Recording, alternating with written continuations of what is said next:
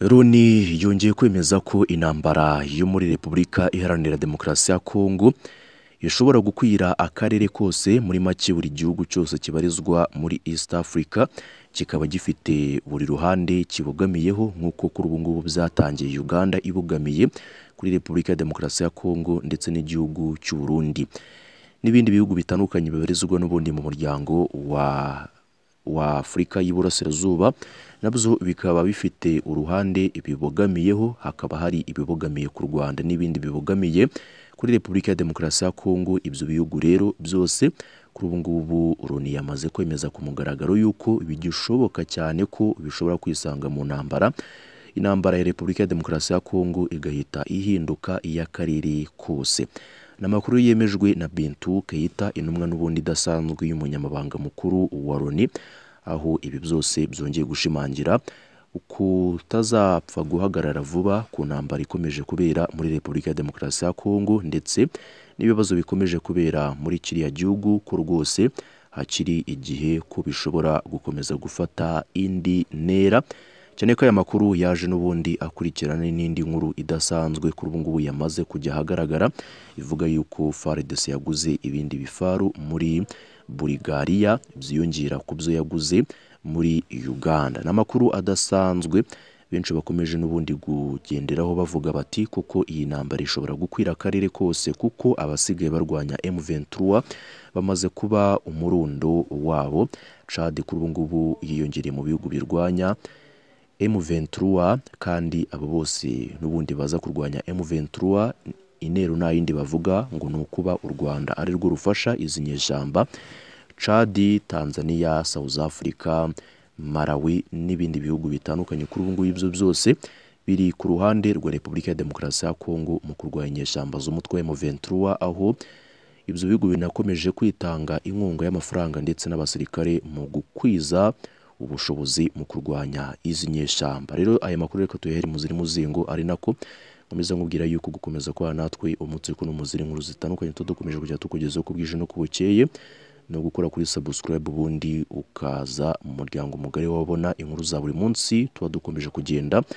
Tubategurira uko bwije n'uko bukeye. Ikaze nanone ita ku magara ni igisobanuro cyiza cy'ubuzima bwiza. ku bw'iyo mpamvu rero habonetse muganga gakondo ugufasha gusigasira amagara yawe. Ukabaho neza kandi utekanye. Tuvura amarozi y'ubwoko bwose inzoka zo mu nda nka amibe dukongora inyatsi tukirukana za karande. Tugahumanura ibibanza byahumanye bikabona abakiriya. dufasha ingo zabazwe n'amakimbirane. amakimbirane agakemuka burundu zikabana neza nkaho nta cyabaye. akarusho aho waba uri hose ku isi turagufasha. Tandukana burundu n'abatwitirira bakubeshya ngo baravura. Hamagare muganga gakondo. wabyize kandi wabihuguriwe. abavuguruze kandi agutsirikire ku rwego rwo hejuru. Ku bindi bisobanuro hamagara muganga gakondo. Kuri ino nimero ya telefone ikurikira. Zeru karindwi umunani mirongo icyenda na karindwi mirongo ine na gatandatu zeru mirongo inani n'umunani erega amagara yacu ni cyo gishoro dufite gikomeye. Sigasira ubuzima bwawe hakiri kare uzarushaho kuramba imyaka myinshi.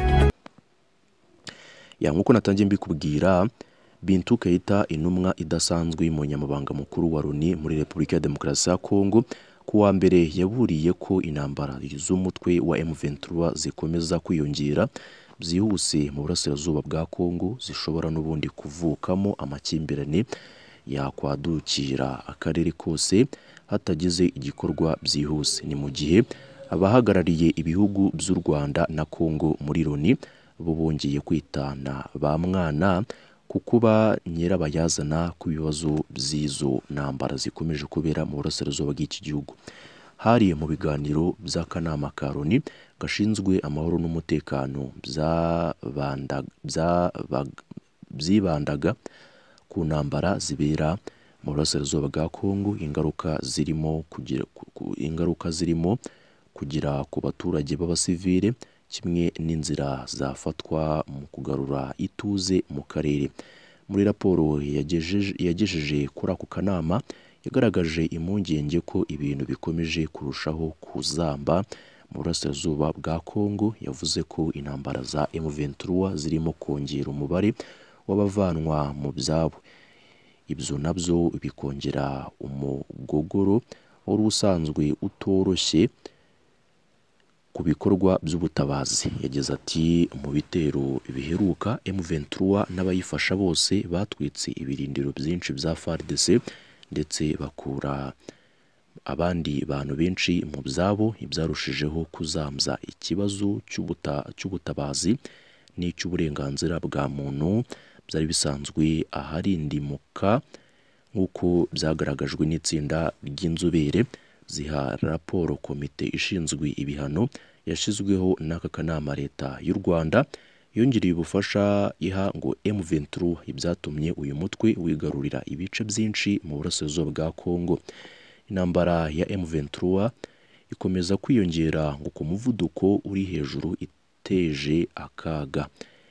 Akaga gakomeye rero cyane kuko yatandukira akarere kose intambara ishobora gufata akarere. Ayo magambo n'ubundi ni aya Bintu Keita. Gusa Keita yahamagariye impande zose zirebwa n'iki kibazo gukoresha agahenge k'ibikorwa by'ubutabazi katangiye mu cyumweru gishize nk'amahirwe yo kongera ingufu nshya muri gahunda zo kugarura amahoro zatangijwe ku rwego rw'akarere.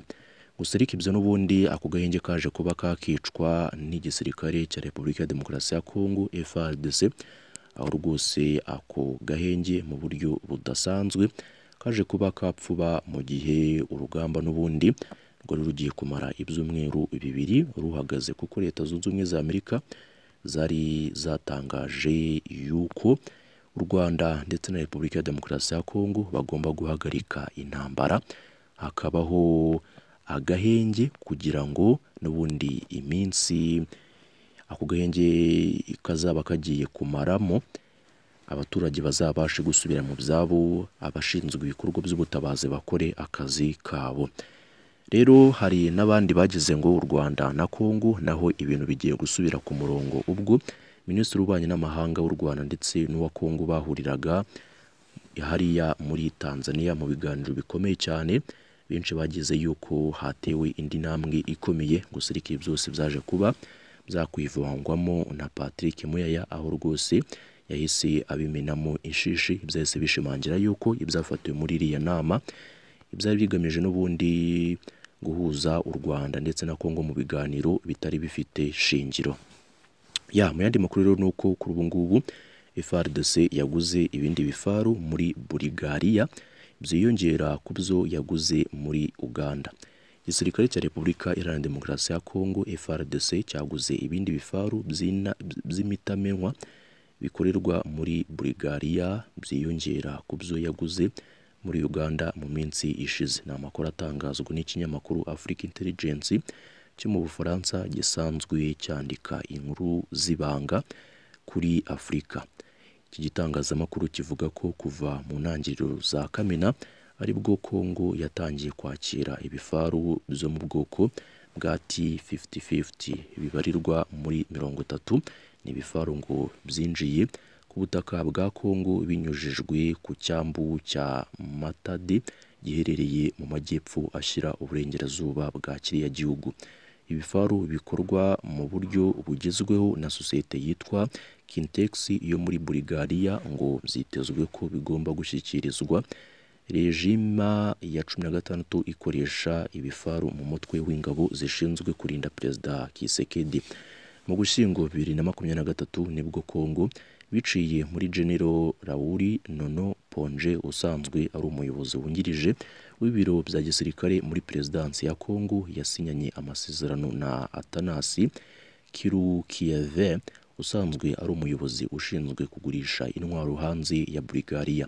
Ni amasezerano y'imyaka itatu afite agaciro ka miliyoni mirongo irindwi n'umunani z'amadolari y'Amerika. Usibye ibifaru Kintex kandi yohereje muri Kongo abatekinisiye mirongo itandatu mu rwego rwo gusana imodoka z'intambara za FARDC zashaje zirimo ibifaru bya T5050 birenga icumi ndetse n'imodoka zo mu bwoko bwa BMP 1 amakuru avuga ko iyi sosiyete yo muri Bulgaria yahawe ikiraka cyo gusana ziriya modoka nyuma y'uko sosiyete yo muri Ukraine yitwa Ukroprogramo mu busanzwe yakoranaga na Kongo inaniwe kohereza ibikoresho byo kuzisana kubera intambara Ukraine irimo n'Uburusiya. Amakuru kandi avuga ko iyi sosiyete Kinshasa yayitegetse kugeza kuri FARDC intwaro zoroheje zirimo izo mu bwoko bwa LM1 na LM2 izi ni version nshya ya Kalashnikov AK47 izo mu bwoko bwa LMG ibisasu bya grenade zo mu bwoko bwa Aegis 30 na mortars kuva kuri mirongo itandatu kugeza kuri mirongo inani na kabiri. Uretse izi ntwaro zo muri Bulgaria Africa Intelligence ivuga ko Kinshasa yanasinyanye amasezerano ya miliyoni mirongo itandatu n'enye z'amadolari y'Amerika n'ikigo cyitwa Privi Partizan cyo muri Serbia ngo kiyigezeho amasasu. N'amasasu y'imbunda zoroheje arimo ayo mu bwoko bwa 7 uh, bwa 762 mm na 27 mm na 20 mm ibisasu biraswa na mortars n'ibiraswa n'ibifaru bya T5050 cyo kimwe n'amasasu araswa ni, araswa na za mbunda nini kuva kuri 130 mm kugeza kuri 152 mm intwaro n'ibifaru bya FRDC yaguze n'ubundi Borayi byiyongera ku bifaru birenga ijana byo mu bwoko bwa Streit Kinshasa yaguze muri Uganda ni ibifaru bisanzwe biteranywa n'ishami ry'ubucuruzi ry'igisirikare. Cya Uganda UPDF ya ngaho ngo uyu munsi rero izi nizo update ziramutse zivugwa niba wifuza gukomeza kubana natwe umunsi ku mu zindi nkuru zitandukanye tudukomeje kujya tukugezaho ku bwije no ku bukeye wowe icyo usabwa nta kindi ni ugukora kuri subscribe iyi yari Rwanda online.